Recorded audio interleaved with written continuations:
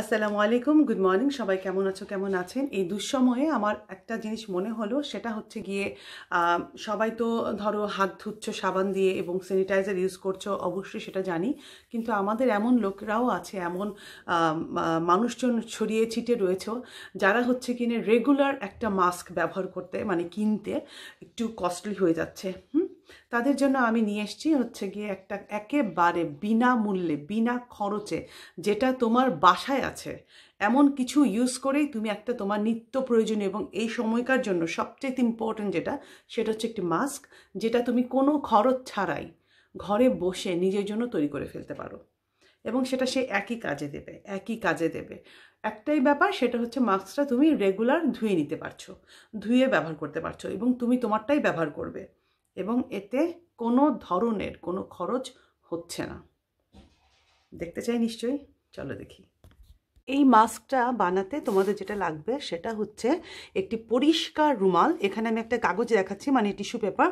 আম sorry আমার কাছে এখন হাতের কাছে রুমাল নেই কারণ আমরা তো আসলে টিস্যু পেপারটাই ব্যবহার করি, রুমাল তো আর ব্যবহার করি না, আর দুটো রাবার ব্যান্ড। ব্যাস, হয়ে যাবে। এটাকে খুব সুন্দর মতো নিট অ্যান্ড ক্লিনভাবে হচ্ছে ফোল্ড করতে হবে।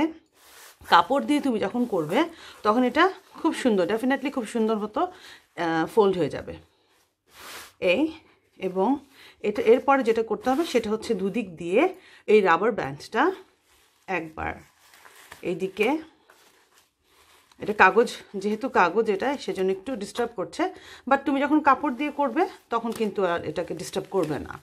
হ্যাঁ।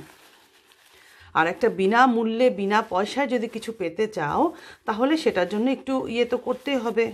স্যাক্রিফাইস বলো বা উনিশ, বিশ, যেটাই বলো।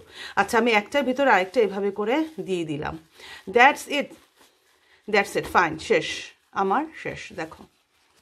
এবং কাপড় দিয়ে করলে এই জায়গাটাতে হয় তুমি একটা একটুখানি সেলাই করে নিতে পারো, তোমার ইচ্ছা। ব্যাস, হয়ে গেল। ঝটপট। আর এই হচ্ছে মাস্ক।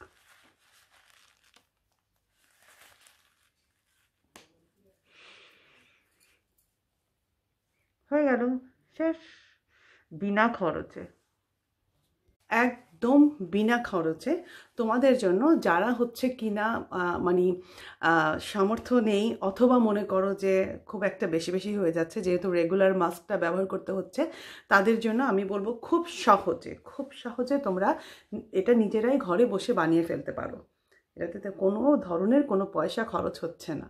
এবং তুমি তোমার নিজস্ব যেহেতু তুমি নিজে ব্যবহার করবে এই মাস্কটা, সেহেতু এই রুমালটা যেটা তুমি ইউজ করছ, সেটা তুমি রেগুলার ধুয়ে পরিষ্কার করে নিজের কাছে রাখতে পারো এবং নিজের প্রয়োজনে সেটা যখন তখন ব্যবহার করতে পারো।